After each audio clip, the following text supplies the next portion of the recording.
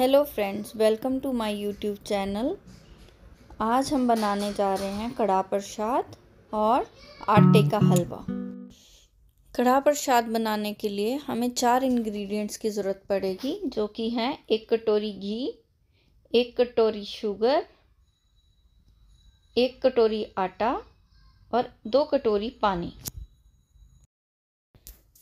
चलिए अब बनाते हैं कड़ा प्रसाद। सबसे पहले एक कढ़ाई के नीचे गैस चला लें और इसको गर्म कर लें। गर्म होते ही इसमें डालेंगे देसी घी और घी को हल्का गर्म होने देंगे।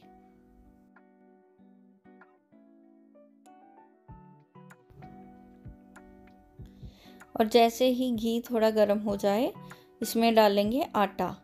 आटा डाल के इसको अच्छे से मिक्स कर लेंगे और धीमी आँच पे भूनना शुरू कर देंगे। कड़ा प्रसाद बनाते हुए दो इंपॉर्टेंट बातों को ध्यान रखना है। अगर आप चाहते हैं कि आपका कड़ा या फिर आटे का हलवा बिल्कुल वैसा बने जैसा गुरुद्वारा साहिब में मिलता है तो आपको ध्यान देना है कि इसमें जो आ, आप आटा यूज़ करोगे वो नॉर्मल आटा नहीं। हल्का दरदरा पिसा हुआ आटा लेना है। जो कि सूजी की कंसिस्टेंसी का होता है। और दूसरी बात इंपॉर्टेंट ये है कि हमें इसकी प्रपोर्शन पे ध्यान देना है कि जैसे मैंने बताया कि एक कटोरी आटा, एक कटोरी शुगर और एक कटोरी घी और उसमें दो कटोरी पानी होना ज़रूरी है। धीरे धीरे चलाते हुए भूनेंगे। जब तक ये बिस्किट के ब्राउन कलर जैसा ना हो जाए मीन मैंने साइड में पानी को गर्म करने रख दिया है, जिसमें एक कटोरी शुगर डाल दी है ताकि वो घुल जाए उसमें और प्रसाद में कोई दाना नहीं आए शुगर का।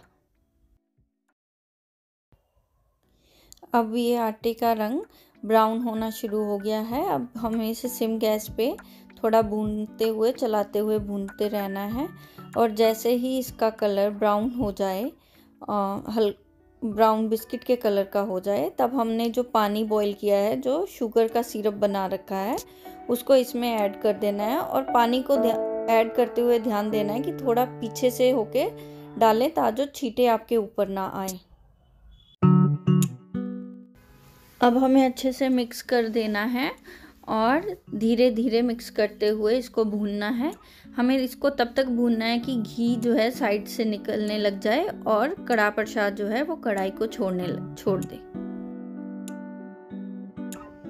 कड़ा प्रसाद बचपन से ही मेरी लाइफ का इंपॉर्टेंट हिस्सा रहा है। जब भी हमारे घर में कोई स्पेशल ओकेशन होती थी तो मेरी मम्मी कड़ा प्रसाद बनाती थी। आज मैं अपनी यूट्यूब चैनल के लिए पहली वीडियो बना रही हूँ तो पहली वीडियो तो मुझे लगा कि मुझे कड़ा प्रसाद ही बनाना चाहिए।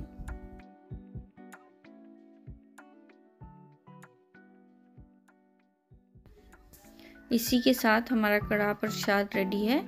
अब बस एक मिनट तक इसको चलाते रहें। देखिए, घी ने साइड से छोड़ना शुरू कर दिया और प्रसाद ने कढ़ाई को छोड़ना शुरू कर दिया है।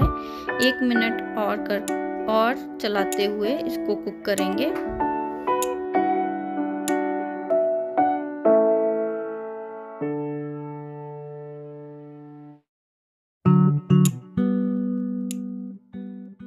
साथ कड़ा प्रसाद बन के तैयार हो गया है और अब आप गैस बंद कर दें और प्रसाद रेडी टू सर्व है।